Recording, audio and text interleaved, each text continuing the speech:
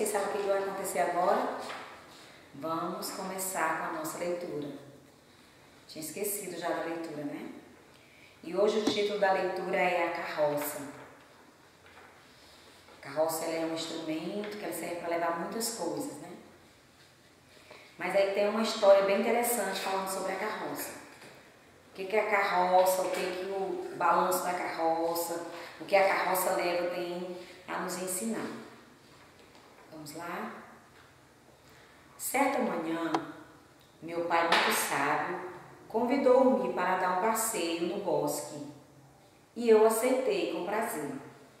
Após algum tempo, ele se deteve numa clareira e depois de um pequeno silêncio me perguntou: Além do canto dos pássaros, você está ouvindo mais alguma coisa? Apurei os ouvidos alguns segundos e respondi: Estou ouvindo o barulho de uma carroça. Isso mesmo, disse meu pai. É uma carroça vazia. Perguntei a ele. Como pode saber que a carroça está vazia se ainda não o vimos? Ora, respondeu meu pai, é muito fácil saber que uma carroça que está vazia por, a, por causa do barulho. Quanto mais vazia a carroça, maior barulho ela faz. Tornei-me adulto e até hoje, quando vejo uma pessoa falando demais, gritando, no sentido de intimidar, tentando, desculpa, tratando o próximo com grosseria, inoportuna, prepotente, interrompendo a conversa de todo mundo e querendo demonstrar ser o dono da razão absoluta, tenho a impressão de ouvir a voz do meu pai dizendo: Quanto mais vazia a carroça, mais barulho ele faz. E aí? Isso aí serve pra gente, pra questão do conhecimento que a gente tem. Quanto mais a gente tem conhecimento, menos a gente vai tratar as pessoas mal, certo? É assim que acontece com a carroça. Então temos que estar nos enchendo sempre de, de aprendizados, de coisa boa, nos tornarmos pessoas sábias, que é pra gente não estar falando determinadas coisas, tá bom? Tá, gente? Hoje nós vamos falar de um assunto que é preposição, mas não vai ficar só na preposição não, nós vamos falar, fazer uma interpretação também, tá? Então dá uma olhadinha aqui para a gente saber o que é preposição. Então vamos lá. Preposição é a palavra que estabelece uma relação entre dois ou mais termos da oração. Exemplo. Passe por aqui, vou com você. Gosto de você, saindo sem destino. Vocês estão observando que existem umas palavrinhas que todas elas estão grifadas com um tracinho embaixo? Essas são as palavrinhas que nós usamos muito no nosso dia a dia. Quando vamos falar alguma coisa, quando, quando vamos escrever, certo? E mais embaixo nós temos é, vários tipos de preposições. Nós temos o a, o ante, após, até, com, contra de, desde, em, entre, para, perante, por, sem, sob, sobre, traz. E, e, essa preposição ela também tem as combinações de palavras, combinações de letras. É, algumas vezes elas mudam é, o som, outras vezes não. Por exemplo, eu posso, o agraciado, ele tem um som de A dobrado, então ele não muda o som. O A mais o O eu posso falar ao, então também não muda, tá? Quando A pode ser trocado por O, esse A não é preposição. Nem toda vez o A é preposição. Por exemplo, vou à vitória. O A nessa, nessa, nessa questão aí é preposição. Mas o outro exemplo aí, essa é a minha filha. Esse é o meu filho. Quando na frase eu posso trocar o A pelo O, ele já não é preposição, ele é artigo, bom?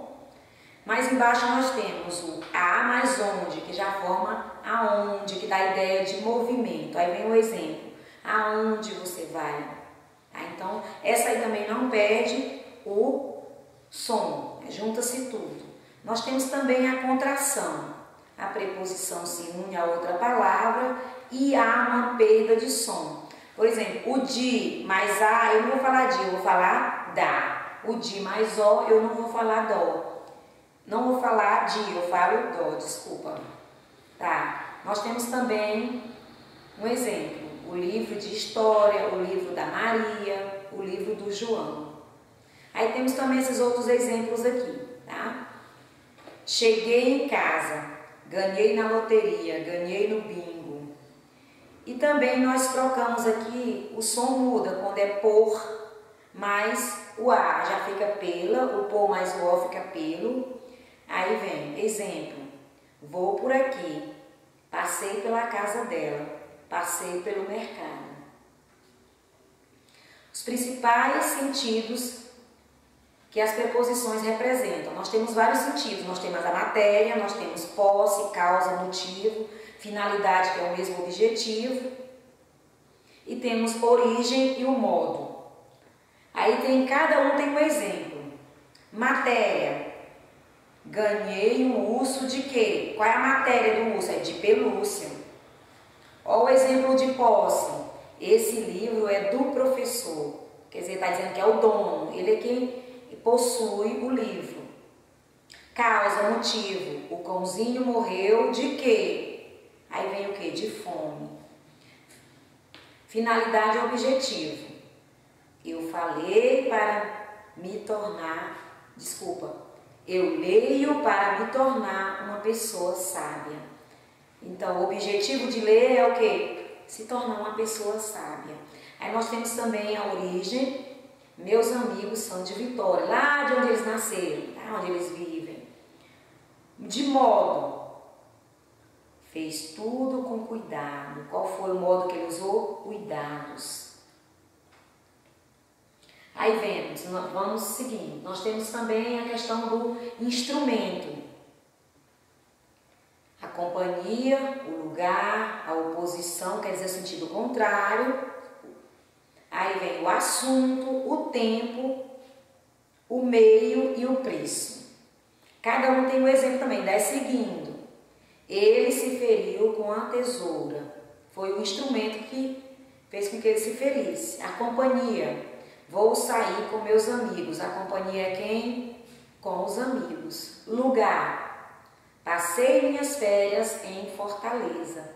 Eu usei a preposição em para chegar ao lugar, para dizer o lugar que foi passado as férias. Oposição, sentido contrário. Devemos protestar contra a violência. Assunto. Conversamos sobre você. O assunto era o que? Você. Tempo. Tenho um prazo de 10 dias para ir embora. O meio a notícia foi divulgada pela televisão.